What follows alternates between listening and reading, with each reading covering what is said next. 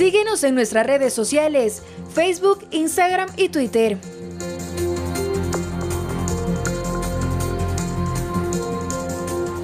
Fundación Olimpiadas Especiales hace un trabajo eh, muy loable con eh, los chicos que tienen capacidades especiales y que de alguna otra manera a través del deporte han logrado eh, sacar pues vamos lo mejor que tiene y por supuesto un gran orgullo para sus familias y por qué no decirlo también al Ecuador olímpico porque en sus participaciones olímpicas han dado grandes satisfacciones al país y el trabajo es de hace cuatro décadas con nosotros el principal de Olimpiadas Especiales y que ha sido el gestor de esta obra eh, durante estos 42 eh, años de existencia. Don Héctor Cueva, muchas gracias por acompañarnos, que es como siempre un gusto a los años. A los años, Byron, qué gusto. Agradecerle por este espacio pues, para comentarle. Yo creo que el 7 de noviembre de este año cumplimos 42 años de trabajo constante, permanente en el Ecuador. La historia es lindísima. Yo creo que Dios nos ha dado una, una bendición al estar con Olimpiadas Especiales. Empezamos un grupo muy pequeño, Lourdes Armendáriz, eh, Pepito Uranga, eh, Oscar Concha, Pepe Reinhardt, o sea, una serie de personas que estuvieron con nosotros trabajando. Hoy tenemos 21 directores provinciales en el Ecuador, trabajando de manera voluntaria. El deporte yo creo que ha sido muy importante, un desarrollo en el país. Hace 42 años, no me puedo olvidar, muchas veces las personas con discapacidad en este país no existían. Por supuesto.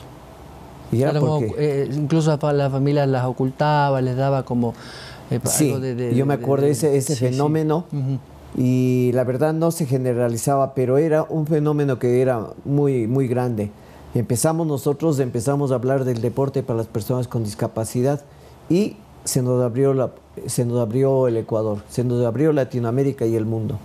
O sea, eh, una cosa importante. Special Olympics es una fundación eh, norteamericana que creo que nació a finales eh, de la década de los 50. Años. Me parece con una familiar o una, una de las hermanas del expresidente Kennedy, si no me equivoco. Sí, ¿Cómo, eh, se da ese encuentro? ¿Cómo llega ustedes eh, a la Fundación Norteamericana? Bueno, eh, se dio hace 42 años en, Concentración Deportiva de Pichincha. Llegó Mike Fedor, un deportista olímpico que tuvo un, problema de salud y vino él con Olimpiadas Especiales al Ecuador. No me puedo olvidar que importante hace, eh, hace 42 años en concentración. Yo estaba ahí con Osvaldo Salazar, Sergio Sevilla, y, entraron y, dijo, le digo, ¿de qué se trata? Me dice, es un gringuito que tiene un programa que se llama Special Olympics. Le dije, ¿de qué se trata? De esto, de esto. Entonces yo le dije a Osvaldo Salazar, ¿podría integrarme? Me dijo, venga. Ese ratito bajamos las gradas y ahí estaba, estaba Enrique Guanín Lourdes de Armendáriz estaban ahí, entonces me dijeron, ¿quieres integrarte? Sí, ese rato me integré, empecé a, saber de todo lo que ha pasado. Eh, la familia Kennedy hace 52 años fundó Special Olympics, una de sus hermanas del presidente John F. Kennedy, de la señora Eunice Kennedy, Rose Kennedy, tenía discapacidad intelectual. Sí, sí, sí, por ahí es la historia. Es la historia. Y en el gobierno del presidente Kennedy se afianzó el proyecto, el programa en los Estados Unidos, Ahí no me puedo olvidar las palabras que siempre cuando empezamos en Special Olympics decía, ¿qué hacemos por el país? No qué hace el país por nosotros. Y esa es la filosofía de Olimpiadas Especiales de Ecuador y de todos los países en el mundo. Es decir, nosotros trabajamos por el país y a nosotros el país no nos ha dado nada. No reclamamos, porque nosotros tenemos la obligación como ecuatorianos de quererle a este país, de ayudarle al país y hacerle todo nosotros no tenemos presupuesto, no es porque no nos quieren dar, sino porque nosotros tenemos la convicción de que tenemos que ayudar al país. Y hemos hecho todo eso en base a, toda la empresa privada, las Fuerzas Armadas, al 911, todas las instituciones la Policía Nacional, al Ministerio de Educación. Es, una, es una, un trabajo constante, permanente, pero muy apasionado. En los últimos años eh, hubo digamos, un repunte de los chicos ya a nivel de competencia, ¿no? Es decir, recuerdo muchísimo algunas eh, Olimpiadas, eh, las Paralímpicos que se llama, donde el equipo ecuatoriano hizo un gran papel. y esto, claro, es ese mensaje que nos queda a todos, ¿no? De que nada es posible, que los sueños se pueden cumplir. Los sueños se cumplen cuando tiene pasión la pasión se vuelve cariño, se vuelve respeto, se vuelve disciplina. Y eso es lo bonito que nos ha pasado. Porque cuando nosotros empezamos, era duro, difícil, sigue siendo, sigue duro, difícil. Este año ha sido muy duro, muy difícil la situación económica, la situación de que todavía no podemos volver a, las canchas, todo eso. No me puedo olvidar una cosa cuando dice todo es posible. En el año 2018 fuimos al Campeonato Mundial de Fútbol unificado en, en Los Ángeles, 16 equipos del mundo. Esa historia es lindísima porque es unificado, eran nueve deportistas de Olimpiadas Especiales con discapacidad intelectual y siete deportistas del Independiente del Valle de las formativas. Mm. Nos unimos, fuimos, a, fuimos al campeonato mundial y quedamos campeones del mundo. Una cosa única. Y la experiencia, Byron, es que cuando se unen, se unifican, ya no existe discapacidad. Claro, todos son igual. Todos son igual. Y en la cancha, los de, hay veces los que tienen discapacidad son mejor que los que no tienen discapacidad. Ese fenómeno solo tiene Special Olympics en el mundo.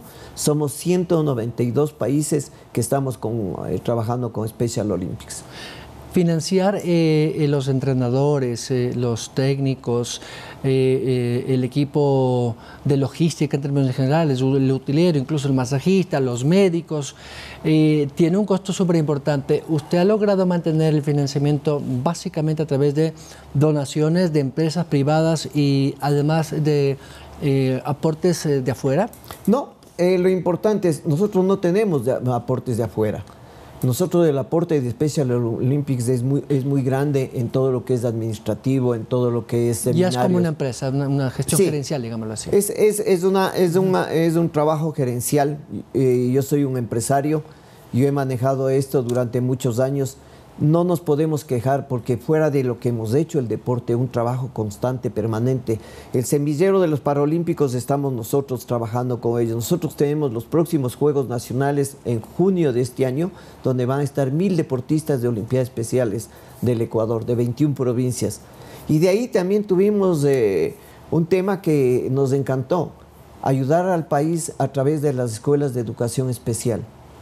Nosotros hemos hecho hasta el momento 15 escuelas de educación especial en el país y nosotros hemos donado al, país 15 escuelas. La última lo hicimos el 9 de noviembre en, en Riobamba, una escuela que reconstruimos, les hicimos para los chicos de parálisis cerebral. O sea, es una mezcla de muchas cosas importantes que a nosotros nos agrada. Por ejemplo, el equipo de Olimpiadas Especiales, donde están mis hijos trabajando, están divididos en el deporte, están divididos en la educación a través de las escuelas de educación especial.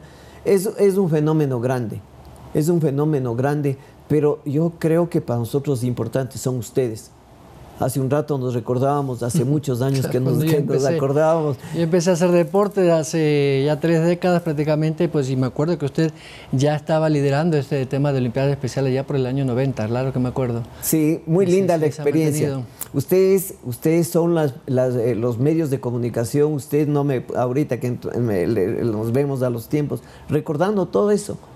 Si no hay, si es buena idea y no hay información, no es buena idea.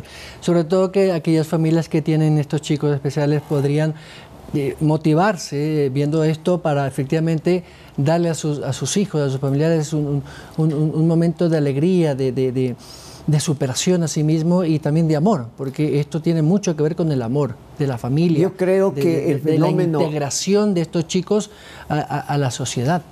Yo creo que el fenómeno que se da en Olimpiadas Especiales es grande, es único. ¿Por qué? Por el, por el concepto de los directores provinciales, de los entrenadores, que le, tiene, que tener es mística, ¿no? Hay una mística, sí, sí, sí, hay un compromiso. El otro día que estaba en, en Riobamba viendo a las profesoras cómo atienden a los chicos de educación especial, usted no puede creer los seres humanos que son para mí no hay otros seres humanos como los entrenadores, los directores provinciales, los, médicos que trabajan con, los chicos de Olimpiadas Especiales. Son únicos, son seres humanos diferentes a nosotros. Con una gran sensibilidad. Una gran sensibilidad humana. Este año ha sido muy difícil para, para la humanidad entera, para todos los eh, deportistas, sobre todo por sus limitaciones. Pero además estos chicos están considerados como una población vulnerable y por lo tanto tiene que haber una doble protección. Eh, ¿Cómo estuvo el tema de la vacunación? ¿Lograron vacunar a todos estos chicos eh, y a todo el equipo de entrenadores como para que, digamos, haya una mayor seguridad para volver a las canchas? Bueno, yo creo que la organización está dentro de los parámetros como para hacer las cosas. Nosotros dijimos, vamos a hacer la gestión, hicimos la gestión muy bien al Ministerio de Salud. Fuimos al Ministerio de Salud, nos dijeron, ok, el listado, ¿dónde, a qué día, a qué hora? Perfecto. Las provincias, sí, ya tenemos, vamos ahí, todos, nos todos están vacunados. Prácticamente todos están vacunados ya con la, con la segunda vacuna, buscando la tercera. O sea, no tuvimos problemas. Era cuestión de que había que hacer la gestión. Si hay gestión, hay todo todas las cosas existen pero si no buscan, no encuentran. claro. ¿Cuántos chicos están ahora eh, en, eh, bajo el paraguas del PED el, el, proyecto ahorita tiene cerca de 21 mil deportistas en todo el Ecuador. Es un proyecto muy grande, muy, muy, muy grande y muy orgulloso, porque Olimpiadas Especiales es del Ecuador. Por supuesto. Porque están todos, están las Fuerzas Armadas, está el Ejército, está la Marina, la FAE, están las universidades, están los colegios, están todo. Es algo, estas noticias de Olimpiadas Especiales le gusta al país. Porque nosotros no somos ni derecha ni de izquierda.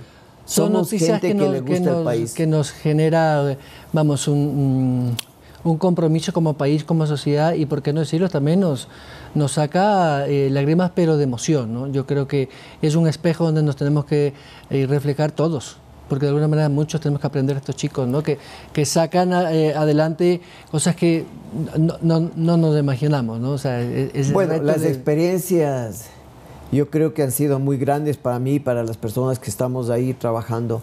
Son, son, personas, son personas ante todo son personas que tienen, tienen mucha solidaridad. Son buenos hijos, son buenos hermanos, son buenos son primos, buenos ciudadanos. son buenos ciudadanos, son buenos vecinos, son todo. O sea, cumplen con lo que uno quisiera ser. Ellos ser buena persona, en términos Son buenas personas. ese es, eso es lo que uno tiene que buscar. Para, para ser buena persona. Me gustaría que haga un llamado a aquellas empresas, que yo sé que hay muchas que, que, le apoyan, pero ahora con estas nuevas reformas tributarias hay algo bueno, es que hay facilidades tributarias para aquellas personas que hacen eh, sponsor o eh, auspicio, patrocinio deportivo. Y creo que aquí es una gran oportunidad que tienen, precisamente por la exposición que van a tener estos chicos, porque además hacen un buen papel. Por lo tanto, las marcas deben estar con quienes hacen eh, valor de marca. Yo creo que sí es oportuno, muchas gracias. Yo cabalmente, eh, yo tengo una entrevista con el señor ministro hoy. Eh, nos hemos acercado a varias empresas, estamos trabajando con varias empresas para buscar eh, a través de la ley del deporte. Un poco complejo todavía porque las empresas no todavía no entienden bien, no quieren se, entender. Se necesita empresas que sean especialistas en marketing deportivo para que les expliquen no solamente el beneficio tributario, sino también el valor de marca, porque eh, eh, las marcas grandes tienen que unirse a los grandes, y en este caso hay grandes deportistas.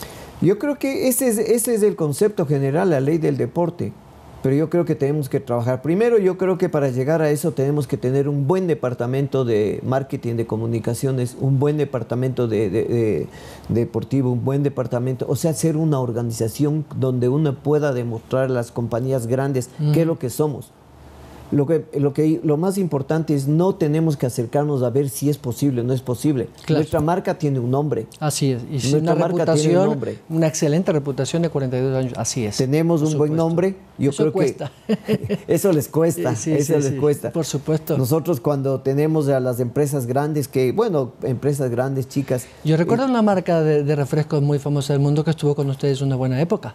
Bueno, eh, Coca-Cola. Sí, sí, sí, claro. Coca-Cola. por supuesto. Coca-Cola estuvo con nosotros. me acuerdo. Eh, bueno, hay varios auspiciantes: eh, CNT, Banco del Pacífico, Maratón Sport, T-Ventas. O sea, hay muchas empresas que nos, que nos colaboran. Este año ha sido duro, difícil, pero no perdemos la fe. El próximo año ya vamos a salir con los Juegos Nacionales en el, 2020, el 2023, los Juegos Mundiales en Berlín. Este día, este día miércoles, jueves y viernes voy a Esmeraldas, los Juegos Provinciales de Olimpiadas Especiales en Esmeraldas. Sé que va a estar la primera, la primera dama del país. Yo creo que es una linda oportunidad para es una conversar. persona muy sensible, estoy seguro que le va a abrir las puertas en todo. Por supuesto que sí. Estuvo, en la inauguración tuvo una sensibilidad grande. Ella llegó de España y no pudo viajar porque era el 7 de noviembre y mandó un mensaje, un video. A las 8, 9 de la mañana dijeron la señora va a mandar un video y mandó un video muy importante para, para todos los, para los deportistas, para los profesores, para todos, ¿no? Pero muy, muy contento. Yo creo que verla de los tiempos, gracias por esta entrevista. Enhorabuena, don Héctor. Siempre un gusto y a las órdenes cuando, cuando desee pues, hablar de lo suyo a través de los chicos deportivos con nosotros con todo gusto. Muchas gracias, don Héctor. Muchas gracias, Byron, nuevamente. Gracias a todos. Gracias. Héctor Cuevas, presidente de Olimpiadas Especiales con sus 42 años de trabajo arduo y loable. Nos vamos. Hoy a las 19 horas, Andrea Orbe tendrá el resumen informativo de esta jornada.